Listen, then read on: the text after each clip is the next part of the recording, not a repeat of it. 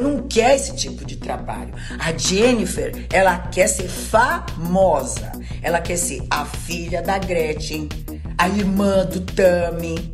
Entenderam? Só que Deus é tão.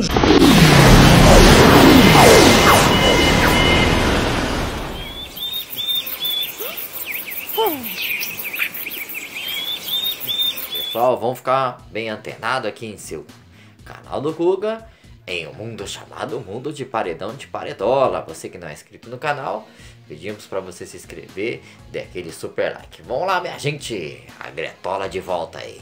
Gretola e a Gretchen diz que a mãe de Bia aí que queria entrar na fazenda, né? Na fazenda aí da Record, hein? Vamos ver aí o depoimento aí da Gretchen em canal do Guga não quer esse tipo de trabalho. A Jennifer, ela quer ser famosa. Ela quer ser a filha da Gretchen, a irmã do Tami.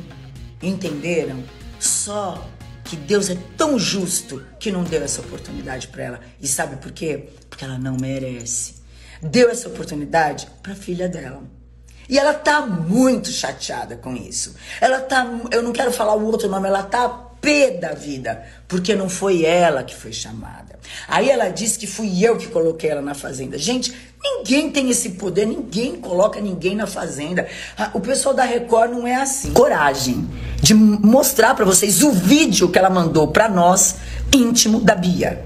Porque ela teve coragem de mandar este vídeo para todos nós da família.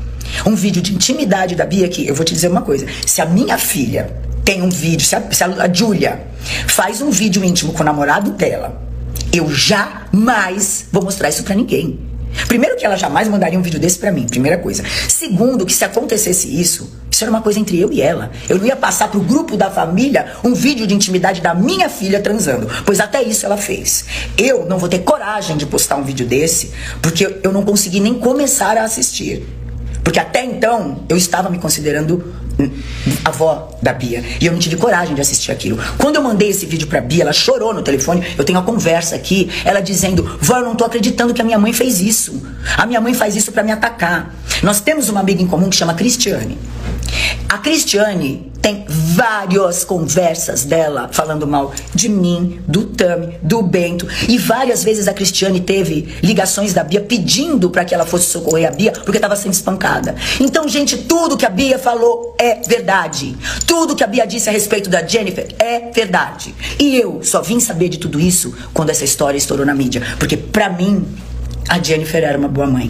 Para mim, a Jennifer fazia o tipo de menina boa. E eu, burra do jeito que eu sou, coração mole do jeito que eu sou, sempre acreditei. Fui contra meus filhos. Era, brigadão aí pela força aí.